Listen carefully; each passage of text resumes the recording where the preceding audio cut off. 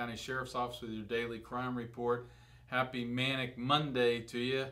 I hope you had a good weekend. Someone entered an unlocked vehicle parked at a home in the 13,000 block of Highway 441. They stole a purse that had $300 in cash in it. Then we had a 2007 Kawasaki dirt bike valued at $4,000. It was stolen from a home in the 1700 block of Northeast 167th Avenue. And then someone entered an unlocked vehicle while it was parked at a home in the 13,000 block of Southwest 40th Circle. And they stole a Garmin GPS valued at $100. Someone broke into a home in the 18,000 block of Southwest 75th Loop. Once inside, they stole a bicycle, generator, TVs, and various other items. Total loss there was approximately $5,000. Then Deputy Rodriguez responded to the 800 block of Northwest 56th Avenue reference to an altercation, made contact with Emero Jones, 26 years of age, who stated that two subjects just showed up at his home wanting to fight.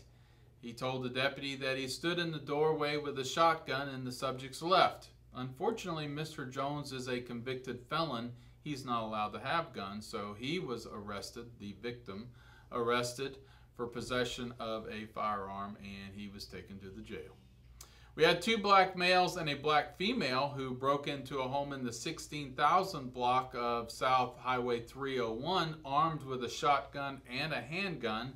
Once inside the home, they grabbed the resident by the hair and threw him to the ground, and they went through his home. They stole approximately $650 uh, and drove away in a silver four door. I think there's more to that story. Hopefully, we'll have more information for you on the crime report, maybe even later this week.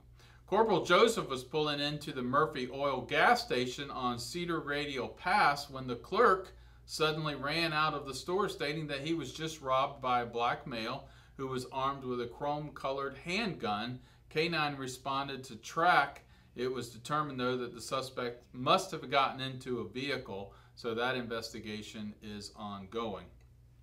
Then, while on patrol in the 5000 block of West Highway 40, Deputy Bowers checked a vehicle or clocked a vehicle for going 62 miles an hour in a 50 uh, mile an hour speed zone. Traffic stop was conducted. Made contact with the driver, Gabrielle Trulander, 26 years of age, who had alcohol coming off of her breath.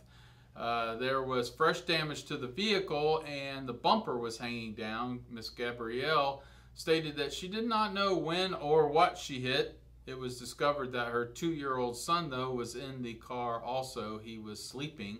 Deputy Moore responded, conducted a field sobriety test, which she failed, and she was transported to the jail. Her son was given over to her mother, the grandmother, uh, to stay with her.